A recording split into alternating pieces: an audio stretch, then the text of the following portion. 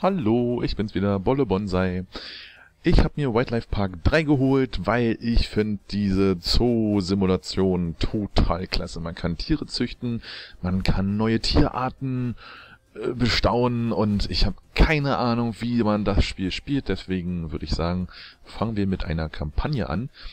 Ähm, ich habe den zweiten Teil gespielt und auch durchgespielt und es war klasse und es war super. Ich habe mir auch diese ganzen Zusatz-DLCs gekauft und so. Und ähm, ja, davon habe ich natürlich nicht alles durchgespielt, aber es war schon toll. Ist jetzt aber alles schon wieder eine Weile her. Ne? Ähm, ich würde sagen, wir fangen von vorne an, das Praktikum, um wirklich zu schauen, wie funktioniert dieses Spiel, wie ist die Steuerung. Ich habe mal ein bisschen reingeschaut und habe nichts geschnallt. Deswegen auf in das Praktikum. Willkommen in Südafrika.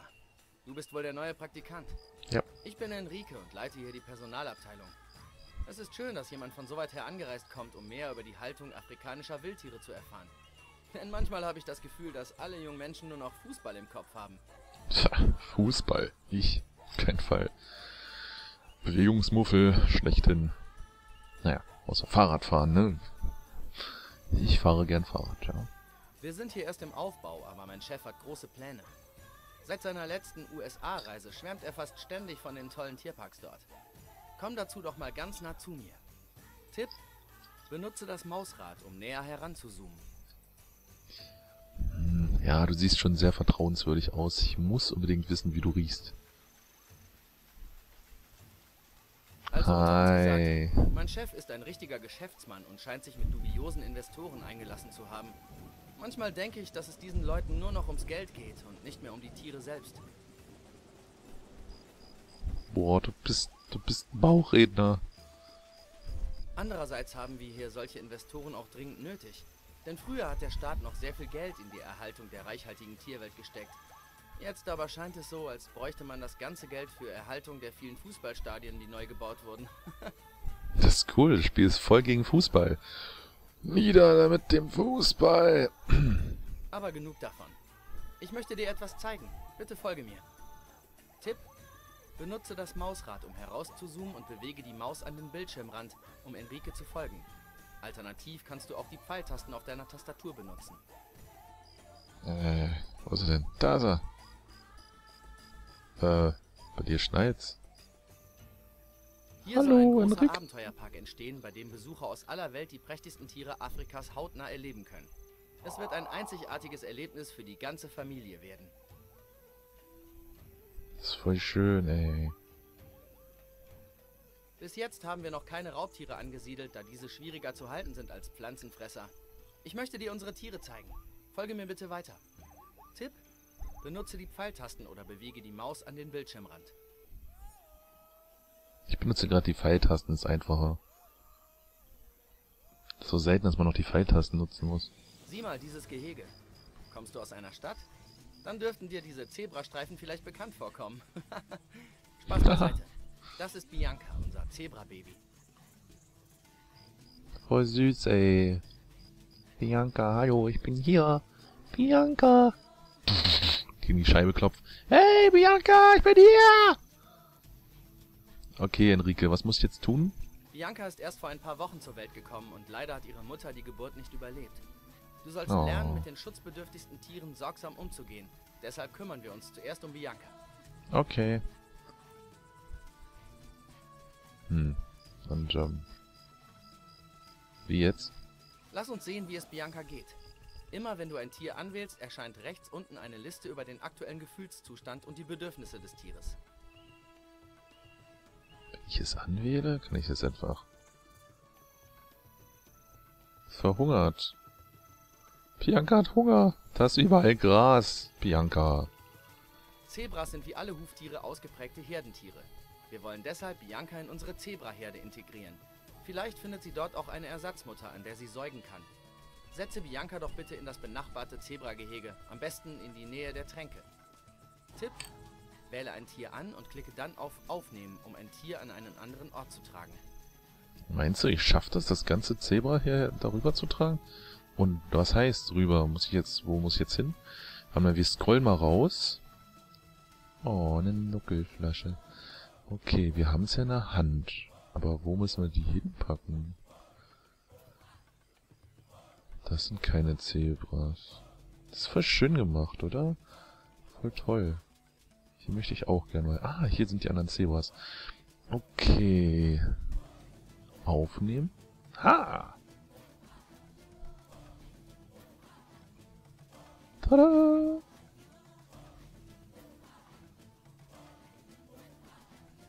Oh nein, das trinkt doch jetzt nicht von der... Nein, wie süß ist das denn? Oh, das trinkt richtig an der anderen... Oh, es ist süß. Toll. Guck mal. Nuggel, Nuggel, lecker Milch, mir geht's prima. Okay, Enrique, haben wir erledigt. Und jetzt? Hm. Enrique redet nicht mehr mit mir?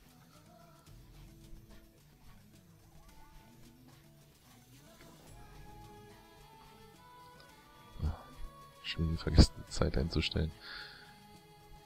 Was soll ich denn jetzt tun?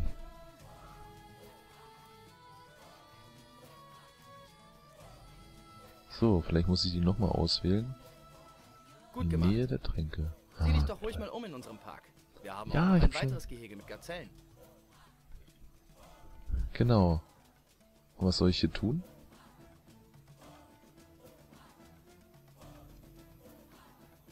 Ach ja, falls du damit fertig bist oder mal nicht weiter weißt, über den blinkenden Schalter hier oben kannst du mehr über deine anstehenden Aufgaben erfahren. Blinkender Schalt. Ah, der hier oben. Gut, du möchtest also wissen, wo es jetzt lang geht. Ja. Hier siehst du alle deine anstehenden Aufgaben übersichtlich dargestellt und auch wie weit du sie bereits erfüllt hast. Im Moment erwartet dich Sarah, die Landschaftsarchitektin des Parks, neben dem Gazellengehege. Versuche sie zu finden. Boah. Äh. Ah. Hallo, ich Hallo. bin Sarah und kümmere mich hier um den Ausbau des Tierparks.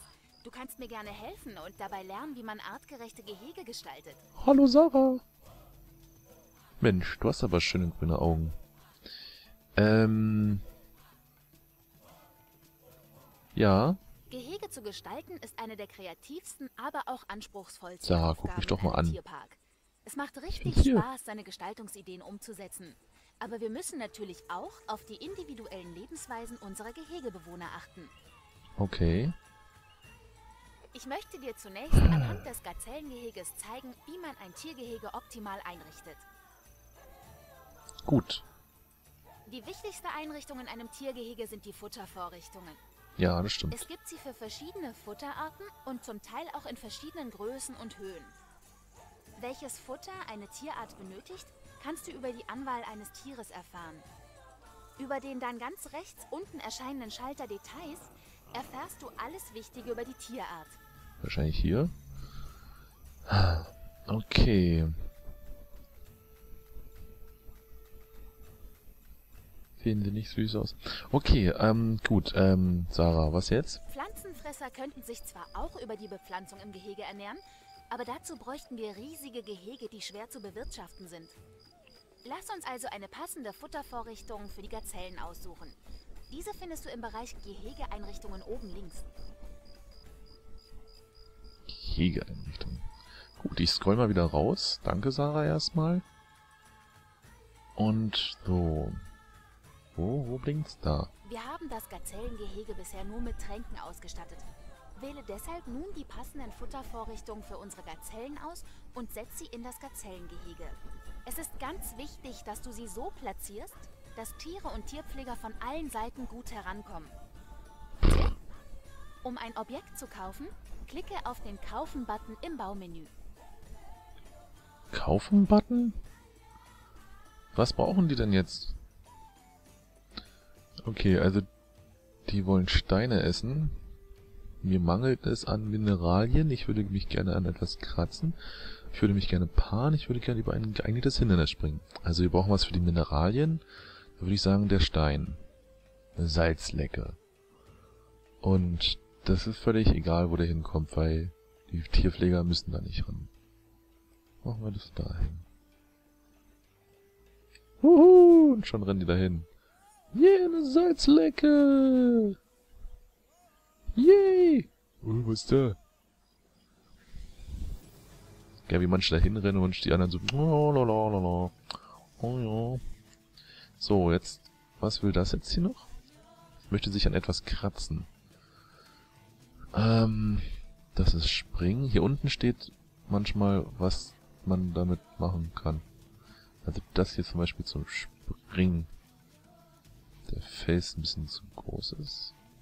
Der, Ste der Stein sieht doch gut aus.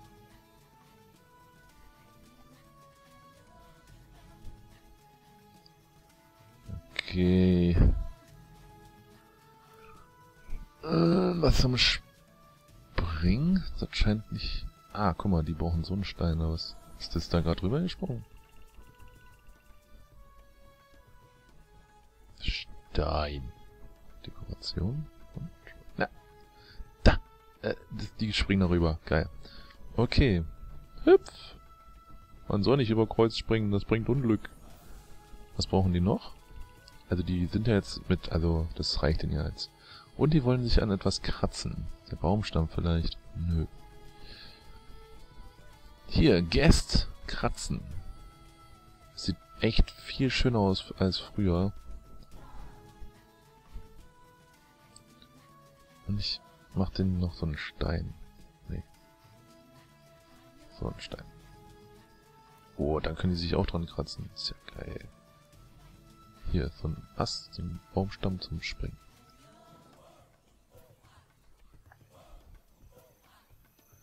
Wackeln die mit dem Arsch dran, oder?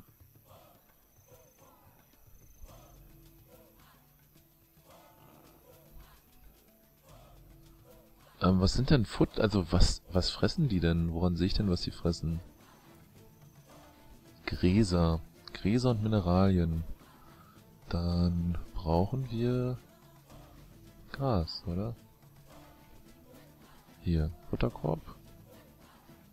Packen wir den wo ist denn der Tierpfleger? Da ist der Tierpfleger. Packen wir das da hin. Dann müsste sich ja gleich der Tierpfleger in Bewegung setzen und versuchen, das aufzufüllen. Beweg dich! Wir haben das Gazellen, wir müssen ihn nur trinken. Okay, er tut nichts.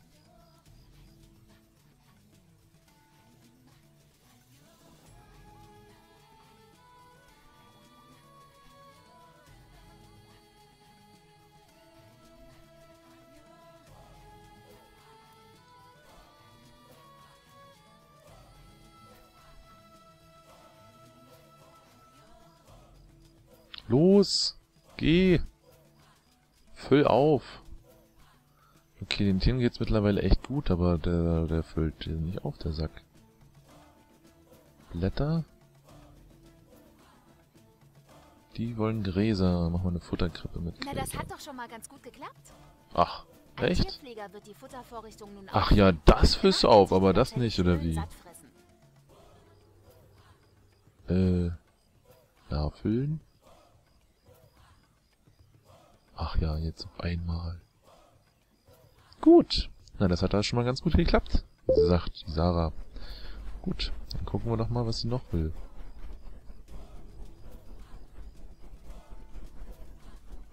Kann man nicht irgendwie vorspulen?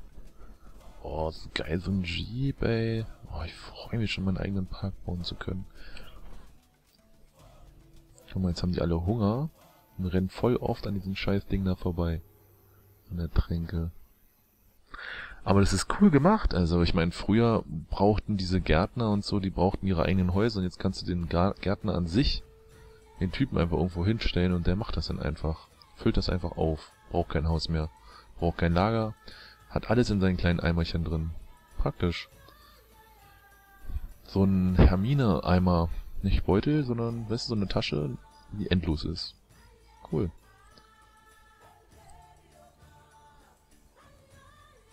So, Sarah. Sarah. Ich brauche eine neue Aufgabe. Was muss ich als nächstes tun? Sarah. Sarah. Wenn Sarah. du eine der Gazellen anwählst, wirst du auch sehen, dass zu einer ausgewogenen Ernährung auch Mineralien gehören. Versuche deshalb auch gleich noch zwei Salzlecken im Gazellengehege unterzubringen. Achte wieder auf einen ausreichenden Abstand zu den anderen Einrichtungen und zum Gehegerand. Cool, hier gibt's verschiedene Exemplare. Machen wir die doch mal dahin. Hey, hey, hey. Haben wir gemacht. Weiter geht's, Sarah. Sarah!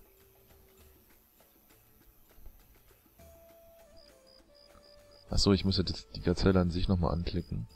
Habe ich. Und durchgecheckt. Die brauchen nichts mehr. Sarah, ich bin fertig. Denen geht's gut. Sarah. Sarah. Ja, hier. Sarah.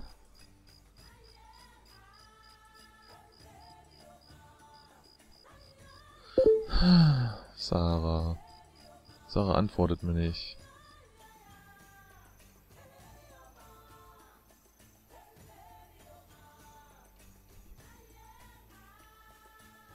Oh. Na gut. Ähm, während ich jetzt auf darauf warte, dass Sarah mir endlich mal antwortet und äh, dass es weitergeht, machen wir erstmal eine kleine Pause und ähm, ja, gleich machen wir weiter, ne? Bis denn. Tschüss.